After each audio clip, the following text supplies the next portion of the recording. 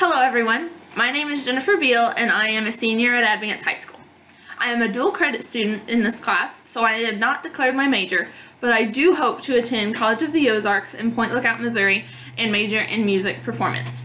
With my major, I hope to be able to one day perform somewhere like Disney World. To me, it is very important to take a communications class, especially for my intended major. I will need to know how to communicate with people of all ages and be easily understood. From this class, I hope to be able to gain confidence when speaking in public and to be able to speak in a fashion that is easily understood by everyone. Thank you so much for watching and I hope we have a great semester.